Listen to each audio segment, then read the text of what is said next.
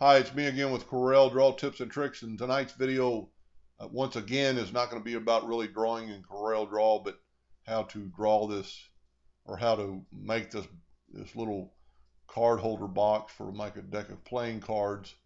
As you can see in the other photograph, it holds a deck of cards. Uh, you could actually scale it down. This is very similar to the other box, but it actually has a backside maybe to keep the cards from falling out. Uh, making a little bit stronger here with these joints. Uh, these are not glued together. They fit real tight. The, um, the rotation latch is stronger than the other latch, I think. You know, the other ones had little, uh, little bit fragile edges and was, you there were two of them. You had a little bit trouble. So if you do cut this out and make it, this piece right here, I've sanded very so slightly on an edge on both sides, making it more like a an arrow shaped to fit through the square hole or rectangular hole. And this latch just spins out of the way and you open it then it spins back to lock it tight. So other than the other box, I, I drew some uh, tabs for the third wall or fourth wall that I added. It's um, it's right here, the back wall. And then this is, the, of course, this piece is upside down to maybe save a little room on the, on the cutting. But this was all cut out of eighth inch plywood. Uh, eighth inch plywood makes it uh, really, really strong with this, you know, flex joint because you're talking about, you know, each one of these are a hairline cut. They cut all the way through. So I designed this where this tab right here stops when the when the latch is locked and then stops again so it wouldn't just flip all the way around. These two pieces right here uh, are cross members that actually go inside of each other and then would fit. So to put this, to, and I'm going to try to make a video tomorrow. I'm going to cut out a second one and uh, actually make a video as I'm putting it together. But this would be your first piece. You would put these two pieces together. Now this is really, really tight. Um, so you're going to, I'm a big advocate of sanding to make it look better. You can see the box doesn't have any laser burn on it. It's all been sanded off. And if you do not sand it, it's going to be really, really tight.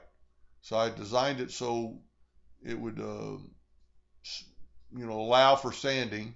So here's your slot that the this part's going to go through. So just real quickly, if you want to cut this out before I get the other video ready, this is your inside piece it'll actually fit underneath this. Well, this is in the open position. Yeah, so it would fit, it would actually fit on top right here. Keeps it from falling through. So you'd put these two pieces, cross them in these little dado joints or tab joints, and then tap them in with a hammer.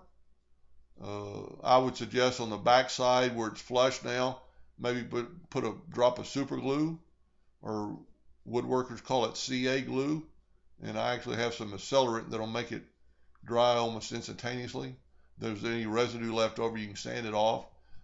Then you would put this piece on top of that one, and then put them both on the hole with the, this piece right here would be uh, would fit inside this hole, and you can kind of see it's already in the in the lock position or the open position. So, um, and it's a little bit smaller, so it'll twist. And then this piece will go on the top of those pieces. And, um, and the, the, this to me was a lot easier to draw than those other tabs.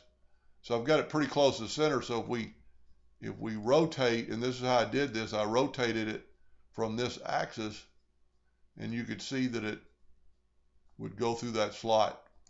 So that's how I kind of designed it. That's a, you know, a really neat thing about Corel because you can actually make the parts move the way they're going to move to make sure they're going to fit. I was curious if my opening was, you know, big enough, but it was. Uh, if yours doesn't quite fit, you could, you know, sand on this outside edge, or I actually sanded this part uh, of the turning knob or the turning part, uh, actually sanded it a little bit on a downward slope on both sides so it kind of goes in there a little easier. But uh, if you like the other box, I think you're going to love this one. I'm going to post it on Epilog's fan page, Epilog's Facebook page, and I'm going to save it as a Corel Draw X3 for more people to use. And I hope you enjoy cutting it out. It's uh, it's a pretty neat little box. In the near future, I'm going to try to make a bigger one that would maybe hold a Bible or a precious book, and uh, kind of sh I'll show you how to do that. But anyway, your file won't have these photographs, but uh, the complete drawing. And what's so neat about this, you can cut this out of a 12 by 8 inch piece of plywood. The whole thing can be cut out. So anyway, I hope that helped a little bit, and thank you for watching.